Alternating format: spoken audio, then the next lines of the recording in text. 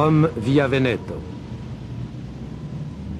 Les cariatides menaçantes qui flanquent l'entrée monumentale de l'hôtel Excelsior ne seront pas les figures les plus inquiétantes que nous allons rencontrer dans cette histoire semée de scandales et de morts violentes. C'est là, dans cet hôtel réputé de la capitale italienne, qu'un formidable contre-pouvoir va se constituer.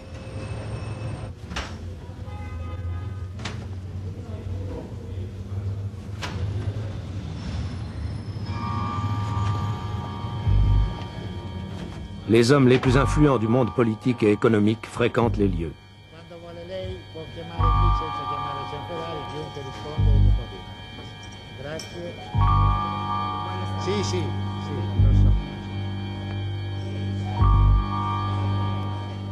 Rendez-vous, la suite 127, quartier général d'une société secrète, la loge maçonnique P2.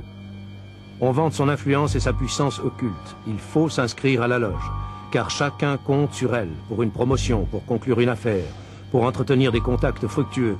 En 1980, les demandes d'adhésion affluent plus que jamais.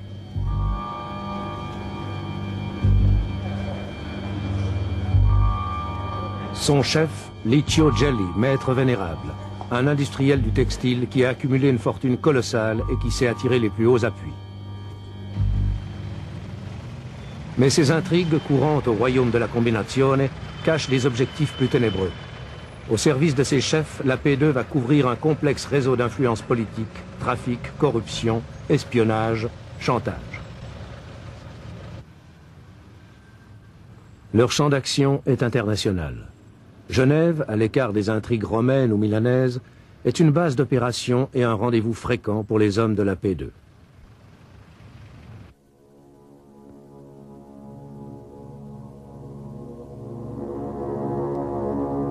Pénitencier d'Otisville, New York. Michel Sindona. Son empire bancaire s'est effondré. Il est condamné à 25 ans pour escroquerie. Lui qui fut la gloire de la finance italienne, le sauveur de la lyre. Début 81, une enquête sur ses tribulations met deux juges sur une piste brûlante.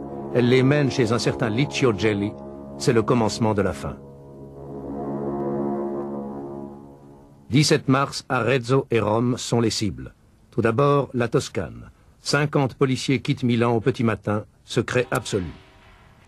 Interdiction de contacter les autorités locales d'Arezzo. Trois groupes foncent. À l'hôtel Excelsior, au domicile de Gelli, à la périphérie d'Arezzo, et à quelques kilomètres de là, à la Giole, l'usine textile dont Gelli est directeur, l'homme est en fuite. C'est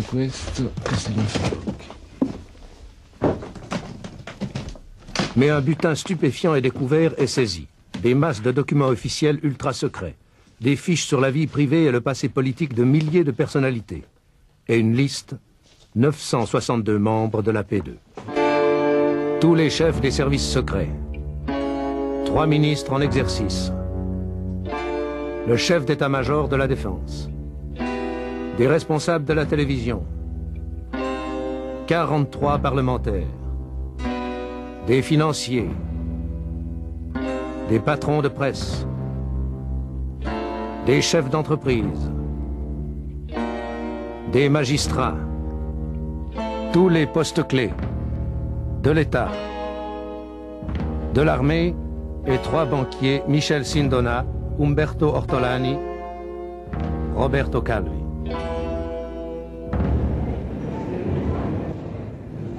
L'Italie est en ébullition. Les accusations réelles et imaginaires pleuvent sur la P2 qu'on dit préparer un coup d'État. Le gouvernement est emporté par la tempête. Giovanni Spadolini est chargé de dénouer la crise. Chose jamais vue en Italie, le nouveau Premier ministre n'est pas démocrate chrétien. Les têtes tombent, la loge P2 est interdite par le gouvernement. Le Parlement nomme une commission d'enquête pour examiner les implications politiques de la P2.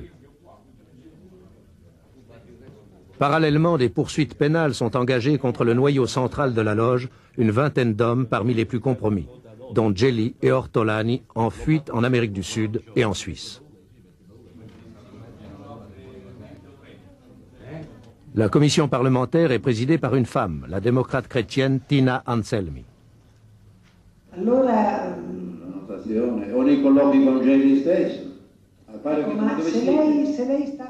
Un circuit de télévision interne permet à la presse de suivre les auditions de la commission.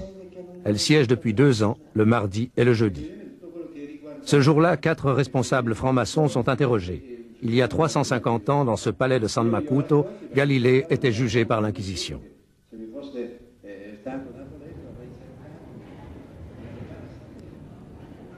Pour la première fois, une télévision est autorisée à pénétrer dans le sein des saints de la commission, ses archives, sous la conduite de son secrétaire.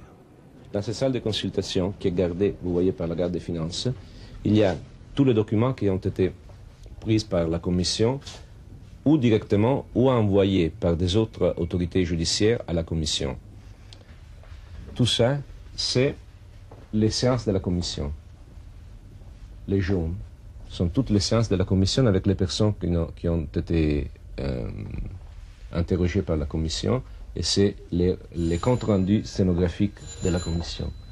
Les autres, euh, les grilles, ce sont les documents que vous voyez. Le total de documents, c'est 300 000 pages de documents qui peuvent être consultés et lus seulement par les membres de la commission et les membres du staff qui travaillent avec la commission.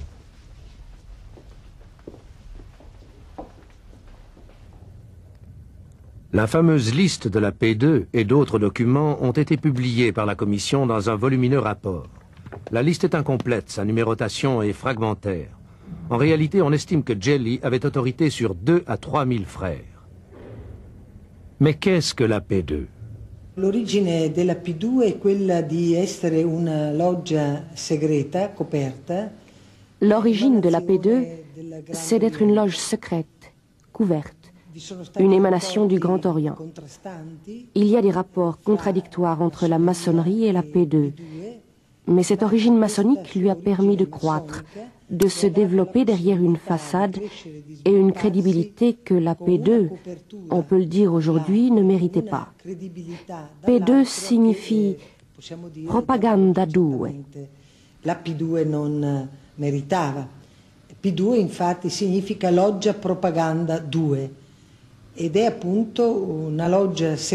C'est une loge secrète, couverte, qui réunissait les personnes les plus importantes qui, justement parce qu'elles étaient importantes, demandaient à rester inconnues des autres frères maçons. La commission vient d'étendre l'enquête au reste de la maçonnerie.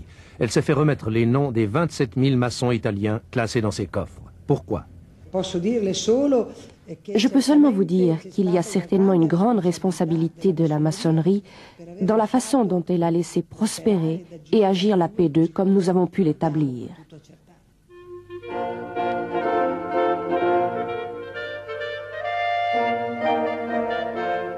Reste à examiner s'il y a des connexions douteuses entre la P2 et l'ensemble de la maçonnerie. La loge secrète a, semble-t-il, profité de la solidarité et de la respectabilité des maçons et surtout du Grand Orient d'Italie dont elle dépendait.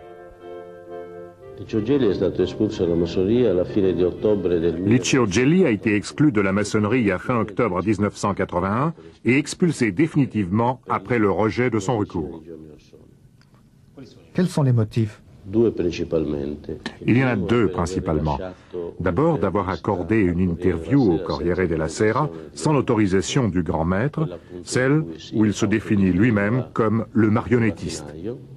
Et le second motif, plus important, est d'avoir géré au mépris, ou en tout cas en dehors des constitutions maçonniques, un cercle privé improprement dénommé Loge maçonnique P2 dénominato impropriamente Loggia Massonica P2.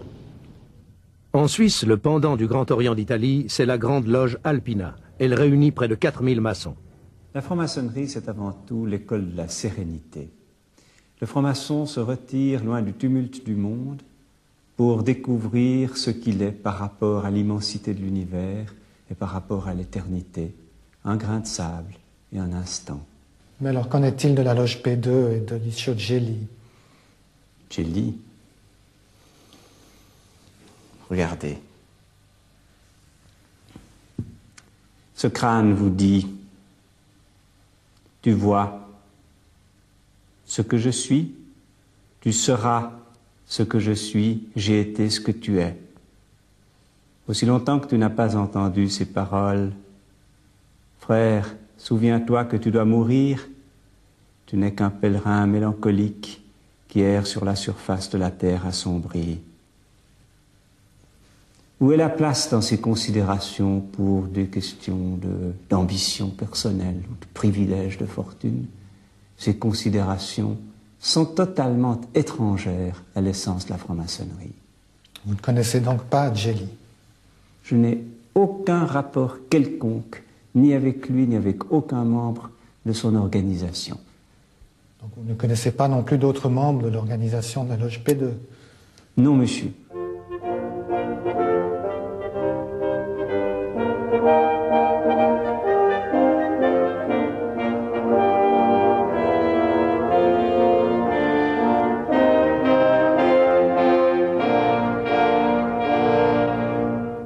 Quel est le danger que représente la P2 au sein du pouvoir italien, de l'État italien? Beh, possiamo dire che il vero problema al quale dobbiamo dare una risposta al Parlamento e al Paese eh bien, nous pouvons dire que le vrai problème auquel nous devons apporter une réponse au Parlement et au pays est de vérifier si la P2, dans son fonctionnement, dans ses rapports avec la finance, la politique, les services secrets, le monde de la presse et des moyens de communication, a pu développer un pouvoir tel qu'il a corrompu ou réduit le pouvoir légitime, tel qu'il repose sur le consentement des citoyens et sur le rôle des institutions. C'est ça la réponse politique que nous devons apporter. 2 août 80. Attentat à la gare de Bologne, 85 morts. En 82, un Italien en prison à Genève déclare avoir les preuves que Gelli et la P2 ont commandité l'attentat. Mais ces documents sont faux et il se rétracte. Il affirmera avoir été payé par les services secrets italiens. Curieusement, c'est Rome qui paie sa caution. Que cache cette intrigue qui implique des juges italiens venus enquêter illégalement à Genève? Le terrorisme fait-il le jeu de la P2 La stratégie de la PD, c'était une stratégie qui avait besoin du terrorisme, c'est-à-dire euh, avec le terrorisme, on pouvait demander un changement autoritaire de l'État.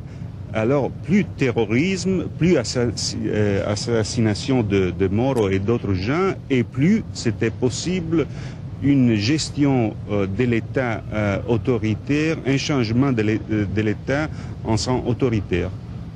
Par contre, vous ne croyez pas beaucoup à la thèse du coup d'État non, je ne crois pas que la, PD était une organisation pour faire un coup d'État, c'était plutôt une organisation pour déplacer les pouvoirs de l'État dehors des institutions dans les mains de gens qui étaient organisés dans la PD.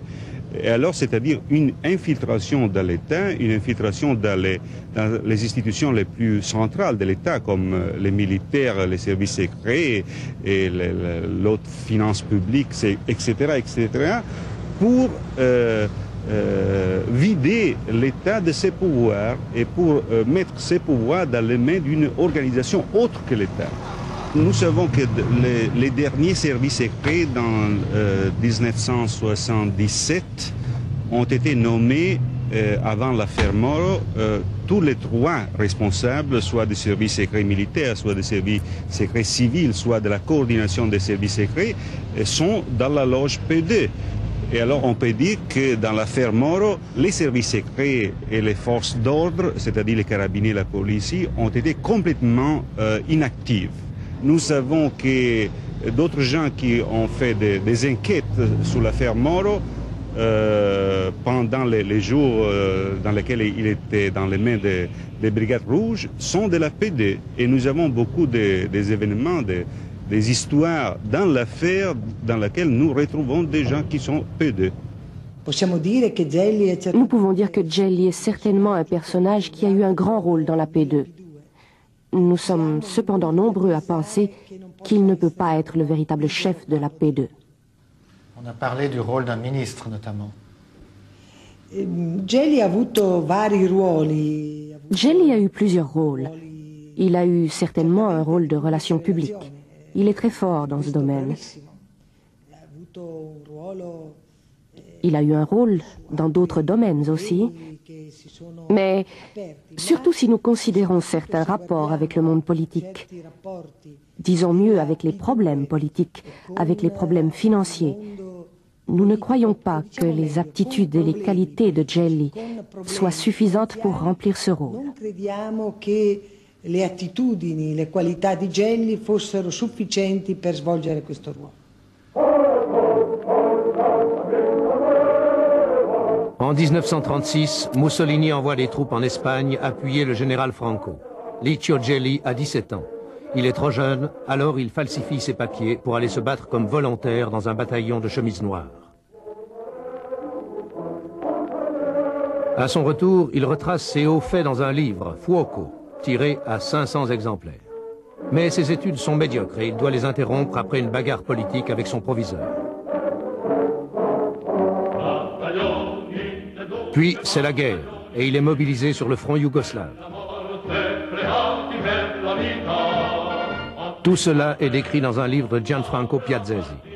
Ancien directeur de journal, il a été mis à la porte sur intervention de Gelli pour avoir remué un passé trop nauséabond. En 1943, Gelli refuse l'armistice. Il se rallie à la République de Salo. Dopo ritorna alla fine nel 1943 l'ultimo anno mm, de, di guerra in Italia. Ensuite, en 1943, dernière année de guerre en Italie, il revient à Pistoia, sa ville natale, comme officier de liaison entre l'armée allemande et les militaires républicains. Il est l'unique Italien en uniforme allemand à Pistoia.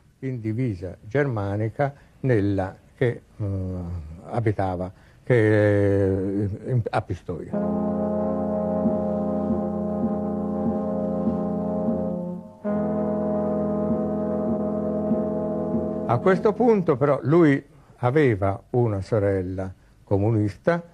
À ce moment, il avait une sœur communiste qui avait épousé un communiste. Et grâce à cette sœur, il fournit des renseignements aux partisans de Pistoia. Et c'est ce qui lui sauve la vie. À la fin des hostilités, arrêté, Jelly n'hésite pas à livrer déjà une liste d'anciens camarades républicains de Pistoia.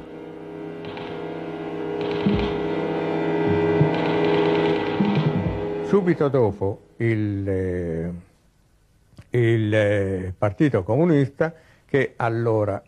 Immédiatement après, le Parti communiste italien, qui à l'époque était rigoureusement aligné sur le Parti communiste soviétique, nous sommes en 1945, le prie de continuer à informer les services secrets de l'Est sur ce qui se passe dans les milieux d'extrême droite.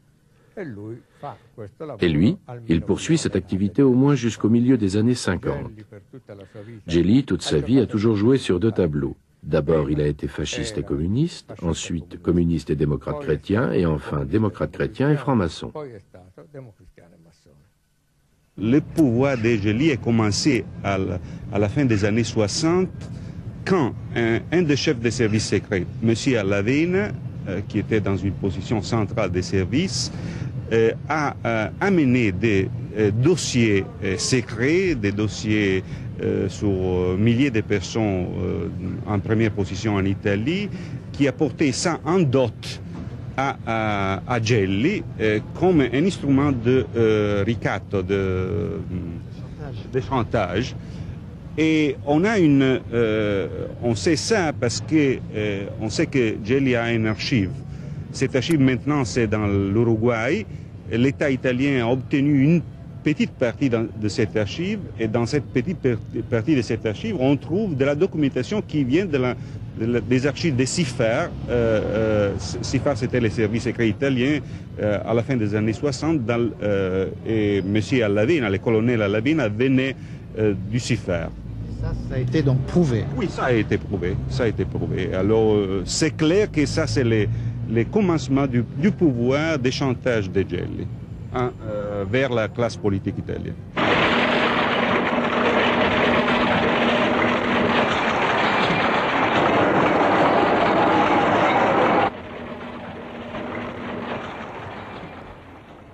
Ses contacts dans le monde du renseignement lui ouvrent d'autres portes, le commerce des armes dont proviendrait l'essentiel de sa fortune. On dit même qu'il a participé à des transactions pour la vente de missiles Exocet à l'Argentine. Maintenant, il y a une enquête judiciaire très importante euh, et probablement euh, la loge euh, PD, c'est une loge, une section de la loge PD, c'est une section qui était spécialement dédiée à l'organisation du trafic d'armes et vous savez très bien que pour organiser le trafic international d'armes, il faut avoir le consensus des services secrets. Et alors, ça, c'est une. la loge, c'est le point dans lequel tout ça se, se mettaient ensemble. On a parlé notamment d'un trafic triangulaire entre l'Italie, la Libye et l'Argentine. Oui, et ça est prouvé que dans, une, dans, la première partie des années 70, euh, le 19, 1973, 14 et 15, euh, il y avait un trafic triangulaire euh, armement pétrole entre Italie, Argentine et Libye. Et Gelli, c'était l'organisateur et le médiateur de ce trafic avec l'Argentine des, des Perron. L'Argentine et son ambassade à Rome jouent un rôle capital pour Gelli. Double national depuis 1974, il est conseiller économique de l'ambassade. Il obtient même un passeport diplomatique argentin. Il doit ses faveurs au général Perron.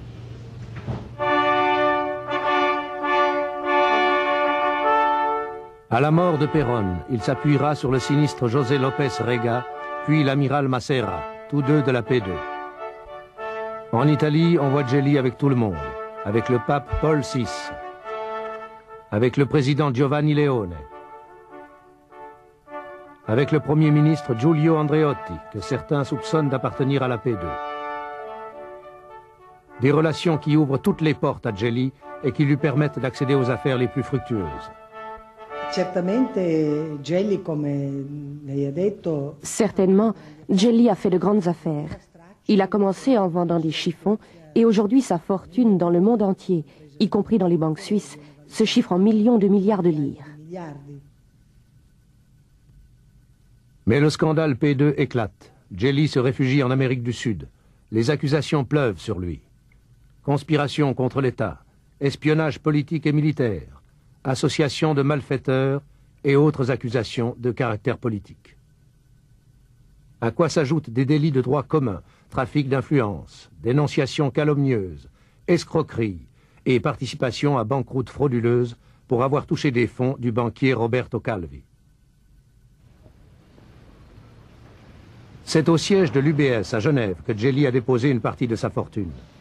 Sur sept comptes numérotés, plus de 100 millions de dollars. C'est là qu'il se fera piéger. L'inspecteur qui l'a arrêté, Gérard Cuchen, ne veut pas montrer son visage, mais il raconte, pour la première fois. Le 13 septembre 1982, en fin de matinée, euh, c'est monsieur le juge Foy qui m'a téléphoné pour m'aviser que monsieur Bernasconi, procureur général du Tessin, avait une information comme quoi un nommé Ricci devait se présenter dans un établissement bancaire de la place à 15 heures et ce personnage, selon toute vraisemblance, devait s'agir du nommé Celli. Monsieur Berlusconi s'occupait de l'instruction de l'affaire Carboni. L'affaire Carboni est donc une affaire en parallèle avec celle de Gelli. Donc on peut supposer que les informations viennent de ce côté-ci. Elle était annoncée pour 15 heures et en fait, celui-ci est arrivé peu après 14 heures. Ce monsieur Ricci a été mis dans un petit salon pour patienter et c'est ainsi que je me suis trouvé nez à nez avec le personnage en question. Alors là, je dois ouvrir une petite parenthèse parce que sur la base de la photo qui nous avait été fournie par les autorités italiennes, euh, le personnage était totalement différent avec celui qui figurait sur la photo de la diffusion. Je lui ai posé la question euh, s'il avait des papiers sur lui. Il m'a remis son passeport. Je lui ai posé la question s'il parlait français. Euh, il m'a dit qu'il parlait uniquement l'espagnol et l'italien. On a eu un dialogue un petit peu difficile, mais au bout de quelques instants, il a quand même admis qu'il s'agissait de faux papiers. Est-il exact que ce passeport, euh, tout en portant un faux nom, est un passeport euh, délivré officiellement? Pour nous, apparemment, c'est une pièce authentique. Ensuite, nous avons encore fouillé l'intéressé avant de le transférer à Chandelon, et c'est lors de cette fouille que nous avons trouvé dans son slip une clé de safe. Cette clé de safe concernait un coffre dans un établissement de Genève où nous avons été euh, procédés à une perquisition avec le magistrat et en présence de l'intéressé, Jelly donc. Alors l'inventaire nous a permis de découvrir une certaine quantité de lingots d'or de 1 kg jusqu'à 12 kg, euh, le tout représentant une somme supérieure à un million de francs suisses. Et ce, coffre euh, était à disposition de Jelly depuis une dizaine d'années déjà, où lui-même n'avait plus eu l'occasion d'y retourner.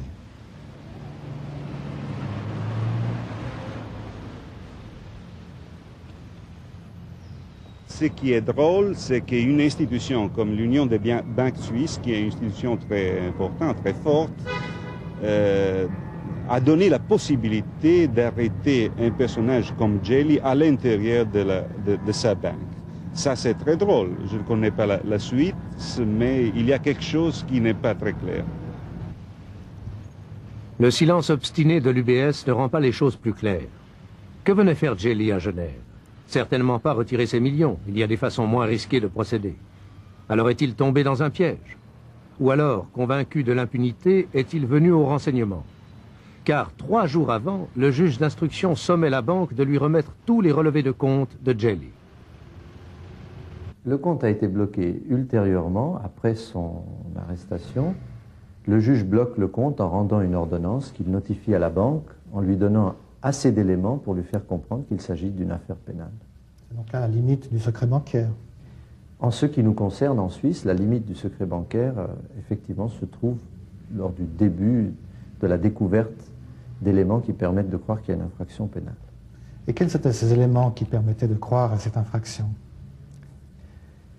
Il y avait l'allégation que certains fonds était de provenance douteuse et nous avions le devoir de faire une enquête à ce sujet. Avez-vous pu vérifier l'origine de ces fonds? Pour une partie des fonds, on a pu retracer leur origine en remontant jusqu'à la source. Pour une autre partie, cela n'a pas été possible au vu des informations qui étaient en notre possession, mais les fonds sont restés bloqués. Ces fonds provenaient du Banco Ambrosiano? Je ne peux pas répondre à cette question. Est-ce qu'ils étaient d'origine délictueuse?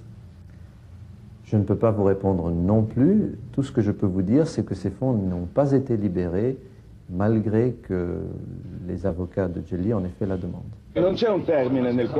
Au lendemain de l'arrestation, Dominique Poncet, avocat de Jelly, défendait la version de son client devant toute la presse italienne et locale à Genève.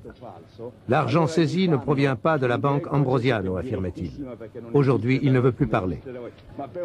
L'Ambrosiano, c'est la banque dirigée par Roberto Calvi, la plus grande banque privée d'Italie qui s'est effondrée trois mois avant. Mais les communiqués du procureur du Tessin qui a lancé l'enquête en Suisse contredisent l'avocat les recherches judiciaires à l'UBS ont bien pour but de retrouver des fonds disparus de l'Ambrosiano. Alors, qui a mis le procureur Bernasconi sur la piste de Jelly Le procureur se tait, mais plusieurs hypothèses sont avancées. Probablement, il s'agit d'un règlement de compte à l'intérieur de l'affaire P2. Entre qui et qui Bon, à, la tête de PD, il y, il y avait, il y a Gelli, Ortolani et des autres gens. Alors on peut dire que dans, ces, dans un nombre de 5-6 personnes, probablement il y a une information qui est passée à l'autorité suisse, à l'autorité internationale de police. Il ne fait guère de doute que c'est Roberto Calvi qui a fait verser des sommes importantes sur les comptes de Jelly à l'UBS. Le président du Banco Ambrosiano aurait ainsi payé Jelly pour la protection politique dont il avait besoin pour mener ses affaires financières louches. L'argent a transité par le réseau inextricable de sociétés montées par Calvi à l'étranger pour camoufler des mouvements de fonds colossaux et illégaux. Une banque à Lugano, la banque du Gothard. Une holding au Luxembourg. Des filiales aux Bahamas, au Nicaragua, au Pérou. Des dizaines de sociétés fantômes au Panama, au Luxembourg, au Liechtenstein. De Milan, des centaines de millions de dollars ont suivi un itinéraire compliqué vers les banques latino-américaines avant de se perdre dans les méandres des sociétés de Panama et de revenir financer les affaires clandestines de Calvi. Quand tout est découvert, le trou est gigantesque dans les comptes de la banque. 1 milliard 300 millions de dollars.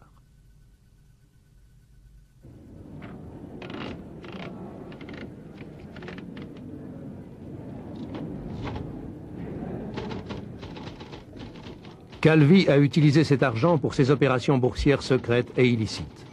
Les chefs de la P2 ont aussi largement bénéficié de cette manne. Des sommes considérables ont abouti dans les caisses des partis politiques italiens que Calvi arrosait copieusement. Mais on découvre qu'un autre responsable du trou, c'est le Vatican. Calvi s'est en effet attiré la pleine confiance du Saint-Siège. On le surnomme le banquier de Dieu. Il va en profiter. Il exploite l'absence quasi totale de contrôle de la part du Vatican sur la gestion de sa banque, l'Institut pour les œuvres de religion, l'IOR. De plus, les autorités italiennes n'ont aucun moyen d'action sur l'IOR, car le Vatican est un État souverain. Les capitaux peuvent donc sortir impunément d'Italie. L'Église romaine manque vraiment de flair. Avant Calvi, son idole, c'était Sindona. Il ruolo del, dello IOR comincia nel 1972. Eh, Le rôle de Lior commence en 1972, après que, quand Michel Sindona, qui se trouve aujourd'hui en prison aux États-Unis, présente Calvi au président de Lior, Marcinkus. Calvi al presidente dello IOR Marcinkus. Cominciarono allora una serie di affari C'est le commencement d'une série d'affaires et surtout d'une affaire la plus importante. che è quello più importante. Nel 1972, questa è la spiegazione che è stata data a- ai cardinali dal Vaticano. Nel En 1972, c'est l'explication qui a été fournie aux cardinaux par le Vatican. Le Banco Ambrosiano, le signor Calvi, demande un prêt de 45 millions de dollars. Lior accorda ce prêt avec un intérêt naturellement et il obtint en garantie les actions de deux sociétés bancaires. Lorsque Calvi rend cet argent, et je le répète, c'est l'explication qui a été donnée par le Vatican, il semble que Lior ne restitue pas ses actions et que Calvi ne les réclame pas.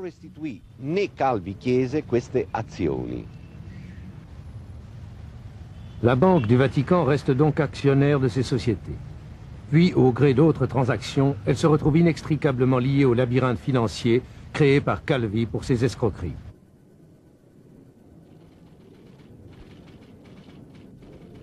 Deux commissions d'enquête sont nommées pour débrouiller cet écheveau. Dans l'une, le Suisse Philippe Devec, ancien PDG de l'UBS, muet comme un coffre-fort. À la tête de Lior, l'archevêque américain Paul Marcinkus. Il est subjugué par Sindona et Calvi. Difficile de dire s'il a joué leur jeu par inconscience ou délibérément dans l'intérêt financier de l'Église. Marcinkus, qui dit vouloir retourner dans sa ville natale de Chicago, est-il un homme fini? Finito. Nella Chiesa Fini, dans l'Église, personne n'est jamais fini. Dans l'Église, il y a une loi qui dit en latin promoveatur ut amoveatur, c'est-à-dire qu'on l'élève pourvu qu'on l'éloigne. Lui, certainement, quand cette histoire sera terminée, il lâchera Lior. Mais il restera pratiquement le gouverneur du Vatican e et il sera nommé cardinal. À moins que ces commissions ne parviennent à découvrir qu'il s'est passé quelque chose de très, de très sale par rapport à ce que nous savons aujourd'hui. Lior est lié à une autre opération de la P2, la prise de contrôle du grand groupe de presse Rizzoli et du prestigieux Corriere della Sera. Le groupe est au bord de la faillite. Il est sauvé par les capitaux injectés secrètement par Calvi. Commence alors une politique effrénée d'expansion. Andrea Rizzoli cède la place à son fils Angelo, membre de la P2. C'est dans ce contexte qu'une société Rizzoli est créée à Genève en 1978. À sa tête, deux avocats, dont le grand maître Alain Marty.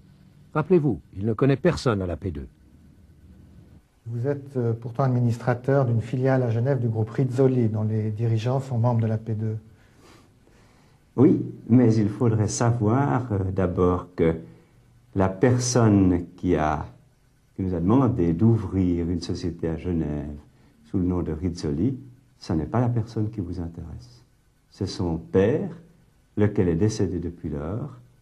Et à la faveur d'une assemblée générale qui est intervenue après son décès, nous avons constaté que la personne qui venait représenter ses actions les représentait tout d'un coup au nom du fils qui vous intéresse lui, et d'une banque qu'il est inutile de nommer, que vous avez deviné. Qui est donc la banque Ambrosiano. Le groupe est placé sous tutelle judiciaire et en février 83, ses trois dirigeants sont arrêtés pour banqueroute frauduleuse. Angelo Rizzoli, son frère, et le directeur général Bruno Tassandin, lui aussi inscrit à la P2. Ne pensez-vous pas que vous avez pu être, en tant qu'avocat réputé à Genève et en tant que franc-maçon, euh, utilisé à votre insu par euh, le groupe euh, de la P2 dans le groupe Rizzoli? Absolument pas, parce qu'en réalité, ce n'était pas mon client. Mais on sait maintenant que le, la P2 avait le contrôle effectif du groupe Rizzoli depuis 1977, donc avant la création de cette société à Genève. À l'époque où nous avons vu pour la première fois quelqu'un de ce nom à Genève, c'était feu M. Andrea Rizzoli et non pas son fils. À noter quand même que c'est le père, Andrea Rizzoli, qui a introduit Ortolani, le financier de la P2, dans le groupe. Aujourd'hui, le Corriere est à vendre.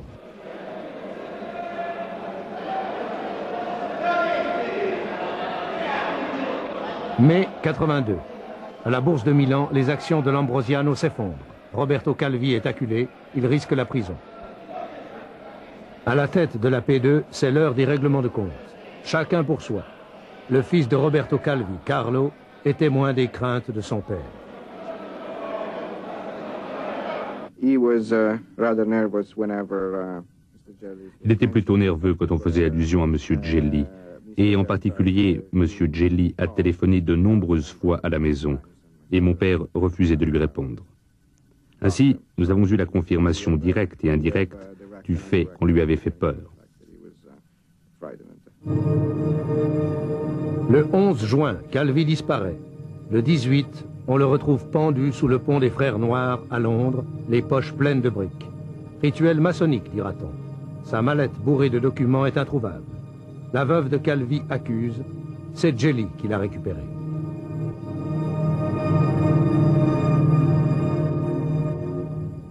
Hans Albert Kunz, un homme d'affaires genevois, a organisé le séjour de Calvi à Londres à la demande de Flavio Carboni.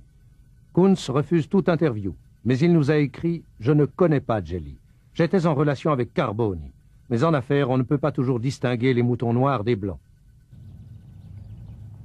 À Vesna, près de Genève, où il habite, Hans Albert Kunz croise souvent un voisin. Seule une route étroite sépare leurs deux villas. Il l'aperçoit aussi parfois dans des réceptions mondaines. Un personnage illustre, un de plus, qui apparaît dans cette affaire.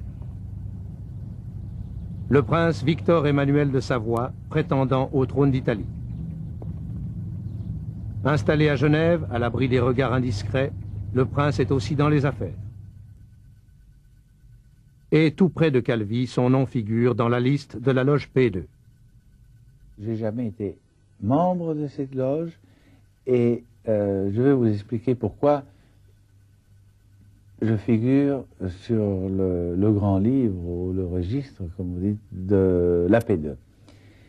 À l'époque, je travaillais en Iran avec beaucoup d'entreprises italiennes j'ai connu Jelly ici à Genève et euh, il voulait faire de la promotion en Iran.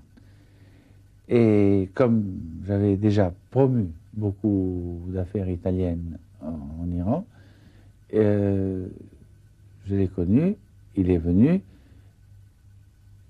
Je ne vous cache pas du tout, je l'ai connu. Euh, nous avons dîné deux ou trois fois ensemble et euh, il m'avait proposé certains groupes italiens pour l'Iran. Or, il s'est avéré que les affaires n'ont pas marché euh, parce que parce que n'ont pas marché euh, parce que euh, ça arrive toujours et ça s'est arrêté à peu près à ce moment-là. Comment expliquez-vous la présence de votre nom sur cette liste alors? Oui, justement pour ça, parce que je crois que c'était plutôt un, un carnet d'adresses presque pour pouvoir me retrouver, pour pouvoir parler pour pouvoir dire qu'il avait fait des affaires non faites, au fait, avec moi. Et avez-vous été en relation d'affaires avec d'autres membres de la P2, Ortolani, Roberto Calvi? Oui. Euh, attention. Euh, euh, Ortolani, oui, parce qu'à cette époque, il était presque le, secrétaire de Gelli, et je l'ai rencontré ici, toujours à dîner, dans, des restaurants à Genève, et, mais Calvi, ça n'avait rien à voir avec, parce que Calvi, c'était, euh, je l'ai connu avant, et c'était quand même un banquier euh, qui travaillait beaucoup, d'ailleurs, avec les banques genevoises. Et je l'ai connu dans l'ensemble des banquiers genevois. Pas de doute, le climat de Genève profite aux hommes de la P2. Ortolani y achète appartements, villas, bureaux luxueux. Il disparaît à la mort de Calvi. Arrêté au Brésil, il est relâché grâce à un passeport brésilien. À Genève, son ami reste muette. Trois mois après la mort de Calvi, Jelly tombe à son tour et il se retrouve à la prison de Chandelon à Genève. Une prison contestée qui a déjà connu bien des problèmes.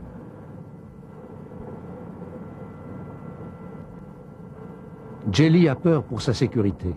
Par les fenêtres, des détenus italiens lui lancent insultes et menaces. Climat difficile confirmé par le directeur Michel Henge. Mais celui-ci ne s'explique pas comment Jelly a pu être photographié clandestinement à l'intérieur de la prison. Il se promenait seul, en promenade de haute sécurité, qui est une promenade euh, qui est, pénible. Nous l'utilisons plutôt comme euh, euh, sanction disciplinaire que comme un droit ou un, privilège. Et lui demandait à se promener là pour éviter le contact avec d'autres détenus. Est-ce qu'il vous a donné l'impression d'un homme imposant ou plutôt... Non, absolument pas. au contraire, moi je le trouvais effacé, Minus serait peut-être un peu fort comme, euh, comme appréciation, mais un peu dans cette direction-là. On a pourtant dit qu'il avait une habileté euh, très marquée pour euh, connaître psychologiquement ses interlocuteurs très rapidement. On l'a dit après. c'est une fois qu'il s'était là, qu'on a brodé, qu'on a raconté, qu'on a, qu'on a analysé la personnalité de Jelly.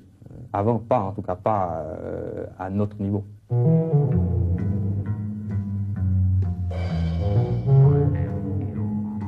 Un Minus, le maître vénérable de la P2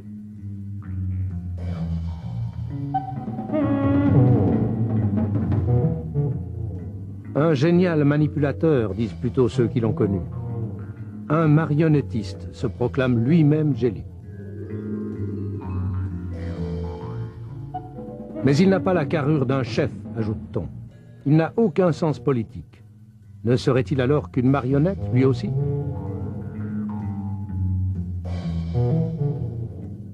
Cellule 151. Jelly tape à la machine des nuits entières. Ses textes sortent de la prison par paquet, grâce à un gardien qui l'a soudoyé et qui lui ouvre tout simplement sa porte pendant une ronde nocturne le 10 août 83.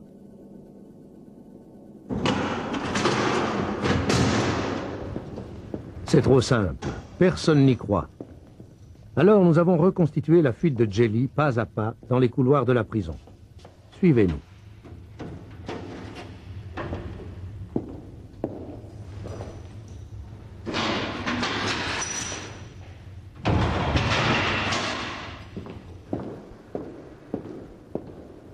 Devant l'ascenseur, le complice de Jelly pointe.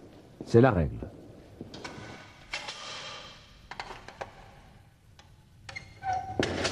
Il est 2h43.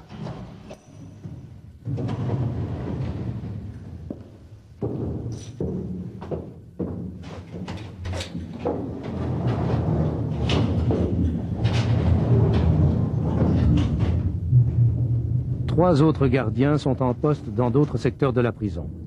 Et quatre dorment selon l'horaire normal.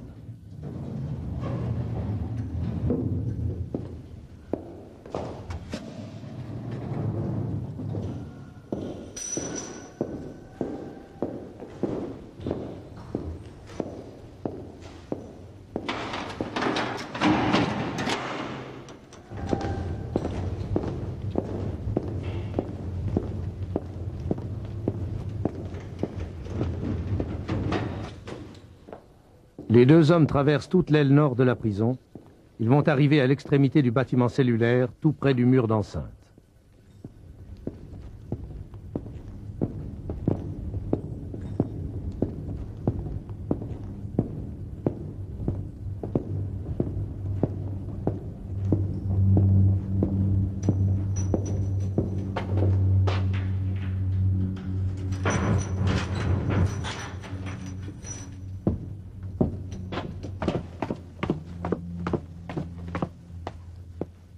Jelly reste seul.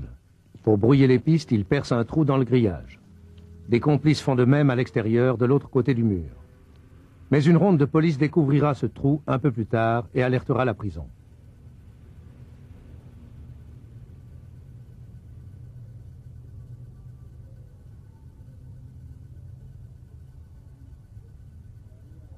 Jelly attend que son gardien prenne la garde dans le Mirador, puis il s'engage vers le parking de la prison.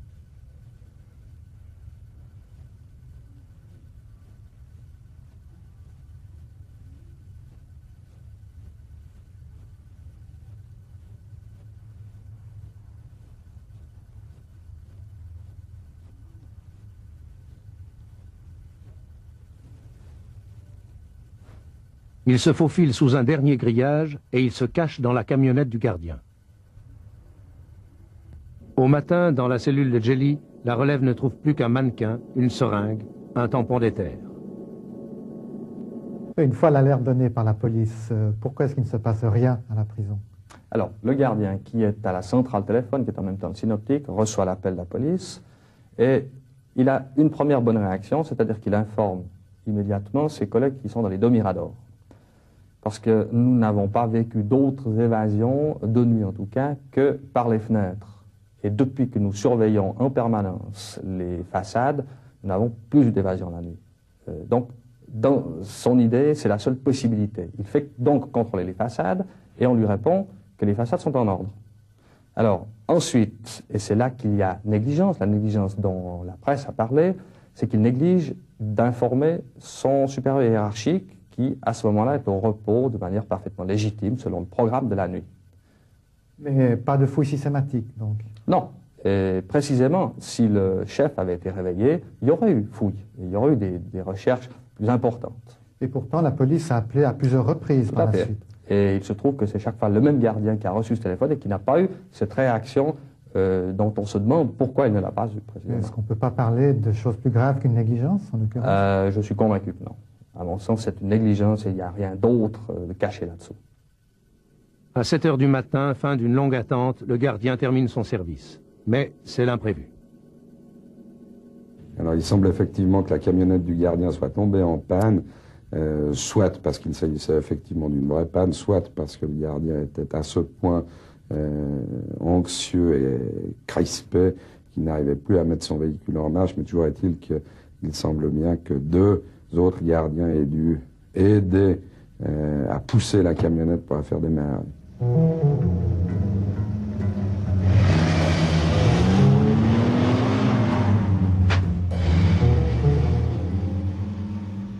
Le juge d'instruction Jean-Pierre Tremblay a pu reconstituer la cavale. Le gardien arrêté s'est mis à table.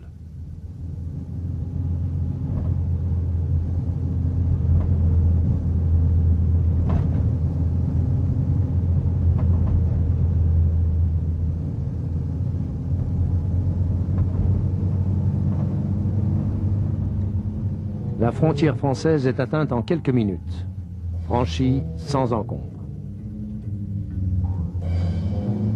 L'alerte est donnée à 7h30. Trop tard.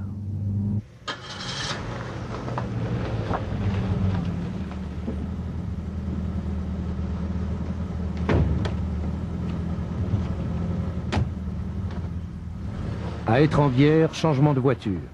Jelly retrouve son fils, Raffaello.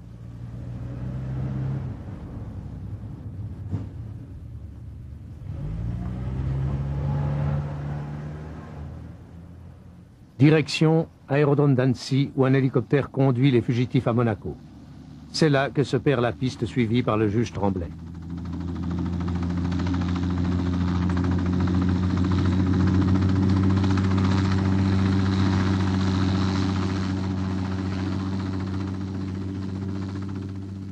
J'ai de bonnes raisons de penser que c'est bien, euh, que c'est bien de cette façon-là que les choses se sont passées. Euh, étant rappelé que cet hélicoptère a été loué à trois reprises par le fils Gelli, sous la fausse identité de Deverini, euh, ce décorateur qui a été interpellé et arrêté à Nice. Euh, l'hélicoptère a été loué tout d'abord une première fois les 21 et 22 juin pour une opération de reconnaissance, puis pour les 27 et 28 juin, l'opération a été annulée, et enfin, pour les 9 et 10 août où l'opération s'est faite. Or, il est formellement établi que c'est les trois fois, c'est le fils de Jelly qui a loué l'hélicoptère et qui en était, en tout cas deux fois, le passager. Donc pour vous, ce serait une manœuvre trop importante pour créer simplement une diversion Oui. Monsieur le Président, beaucoup de gens restent convaincus que l'évasion de Jelly était impossible sans d'autres complicités à la prison. Qu'en pensez-vous? Je n'en pense rien du tout. Ce que je sais pratiquement, c'est qu'un gardien a trahi, un gardien a ouvert les portes, a fabriqué de fausses clés, a voulu emporter et a emporté le détenu Jelly dans son fourgon le matin de l'évasion, le 10 août dernier. Ce que je sais, c'est que des négligences ont eu lieu à la prison durant la nuit, la routine aidant, que l'évasion a failli, en quelque sorte, échouer, mais que la négligence aidant, euh, un certain nombre de gardiens n'ayant pas fait ce qu'ils devaient faire, c'est-à-dire observer les directives, eh bien, le monsieur est parti. Pour vous, pas d'autres complicités, donc? Ce n'est pas à moi à déterminer s'il existe d'autres complicités pénales, c'est la justice pénale, euh, réserve est en fait bien sûr la séparation des pouvoirs, à déterminer si oui ou non d'autres euh, complicités euh, ont été matérialisées à la prison. Ce que je puis affirmer que j'ai appris après coup, c'est que le fonctionnaire en cause s'est fait promettre 2 millions de francs suisses pour perpétrer son délit. Vous aviez eu des soupçons contre ce gardien déjà? Oui, des soupçons, mais pas plus nous avons subodoré que peut-être il y avait des contacts entre euh, Jelly et ce gardien qui dépassaient un peu le cadre strict des fonctions euh, du gardien. Étant donné la personnalité du détenu, pourquoi est-ce qu'on n'a pas déplacé le détenu ou même déplacé le gardien? Parce qu'à ce moment-là, tout d'abord, il n'était pas question d'imaginer une aide à une évasion. Il ne pouvait s'agir que peut-être de sortir une lettre pour euh, Madame Jelly ou des, des délits ou des, erreurs de service, mais qui, par rapport à une aide à l'évasion, restaient mineures. Et euh, nous cherchions d'abord à avoir des preuves de ces fautes de service avant d'intervenir. Mais cela couplé aux avertissements italiens de risque d'évasion, est-ce que ce n'était pas une raison suffisante pour déplacer Jenny Non, parce que les avertissements italiens, qui nous venaient via Berne d'ailleurs, ont toujours parlé d'actions venant de l'extérieur, de commandos même euh, violents, on a même parlé d'hélicoptères, et l'idée que simplement un gardien pourrait conduire euh, Jelly pratiquement par la main jusqu'à l'extérieur de la prison nous a en fait jamais effleuré. Qu'en est-il des avertissements venus d'Italie sur l'éventualité d'une évasion? Ces avertissements étaient donnés en novembre 1982 et en février 1983, ce fait hors de ma part. Il y a chaque année à Genève euh, pratiquement euh, des dizaines de milliers de telex qui viennent, qui nous avertissent de tel ou tel événement possible. Parfois, ce sont des telex qui, donnés à la police, parlent euh, d'indications données par des gens honorables, parfois moins honorables, des indicateurs à proprement parler. Et les quelques telex qui ont été adressés à Genève pour dire que M. Gelli préparait son évasion ont été pris au sérieux. On a fait des rondes de police, on s'est interpellé. Il y avait des noms, les noms étaient vérifiés dans les hôtels. En vérité, ces telex ont été pris euh, au sérieux, mais je rappelle, novembre 82, février 83. il est exact que l'évasion aurait dû euh, se dérouler à la fin du mois de juin, c'est-à-dire plus précisément le 28 juin. Euh, pour diverses raisons, cela n'a pas été possible, et en raison des vacances du gardien, le projet a été remis à son retour de vacances, et c'est pour la raison pour laquelle il s'est déroulé au début du mois d'août.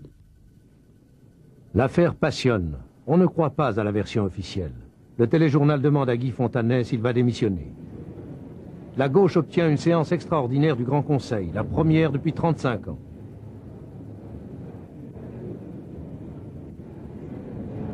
Le directeur de la prison doit partir, clame la gauche. Exploitation électorale, répond la droite. Traitement de faveur, sollicitude capillaire, lance le doyen Jean Vincent il fait allusion aux cheveux teints de Jelly. Une commission parlementaire d'enquête est décidée. La majorité juge insuffisantes les explications de Guy Fontanet, qui souligne qu'il n'est pas seul en cause. Est-ce qu'on aurait pu imaginer un transfert de Jelly dans une autre prison suisse? Tout à fait. Le tourisme pénitentiaire est un tourisme qui se fait souvent, mais M. Jelly était sous la responsabilité de la Confédération et la Confédération n'a pas voulu le faire. Certains pensent que Jelly n'est pas parti de son plein gré et qu'il serait aussi peu libre de ses mouvements aujourd'hui que par le passé. Qu'en pensez-vous? On ne peut encore exclure aucune hypothèse, mais rien en l'état de l'enquête ne permet de penser euh, que Jelly aurait quitté la prison contre son gré.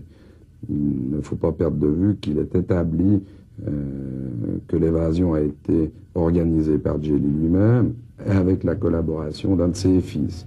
On voit par conséquent difficilement comment on pourrait admettre qu'il ait quitté la prison contre son gré. Neuf jours plus tard, le tribunal fédéral accepte l'extradition de Jelly vers l'Italie en l'absence du principal intéressé. Mais il ne retient que quatre chefs d'accusation sur quinze, ceux qui touchent au droit commun. L'évasion de Jelly, comment y avez-vous réagi? Ma la nostra reazione è stata di chi ha visto il testimone più importante fuggire nel momento in cui Notre réaction est celle de gens qui voient s'échapper le témoin le plus important au moment où nous l'attendions pour répondre à nos nombreuses questions. Jelly était le protagoniste de la P2 qui nous est apparu à ce jour le plus compromis et le plus significatif. Et certainement, sa fuite nous a privés d'éléments décisifs pour pouvoir conclure notre enquête et lui donner un sens. Alors, où est Jelly? Chacun sa version. On le situe en Argentine, au Paraguay, en Uruguay, où il a de vastes domaines. D'autres sont sûrs qu'il est tranquillement planqué à Rome, en Sardaigne, à Genève, où il attend son heure. D'autres encore restent convaincus qu'il a été enlevé. Et on entend aussi que Jelly est déjà mort, peut-être, depuis longtemps. Mais pour certains, les rebondissements incessants de l'affaire ont trop duré. Ils se taisent obstinément. Ils ont peur du scandale, des représailles. Peur de ce gros titre. Jelly frappe encore.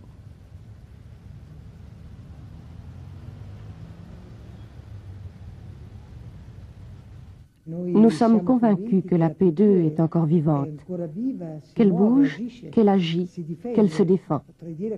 Et on peut même dire qu'elle contre-attaque. Donc notre tâche n'est certainement pas terminée.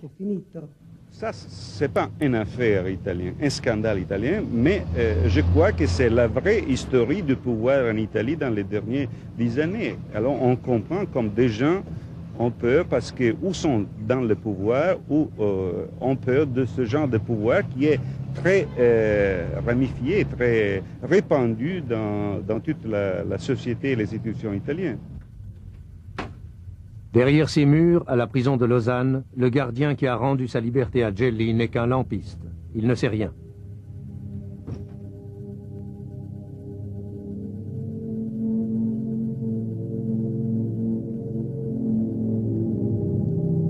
Les juges et les enquêteurs, en Suisse, en Italie, ne détiennent que des bribes de vérité. Les députés de la commission P2 sont freinés par les pressions politiques. Toutes les compromissions n'ont pas été découvertes, tous les noms ne sont pas apparus en plein jour. Et la grande réussite de Licio Gelli, c'est que personne ne semble vraiment pressé de le retrouver, lui et ses redoutables secrets.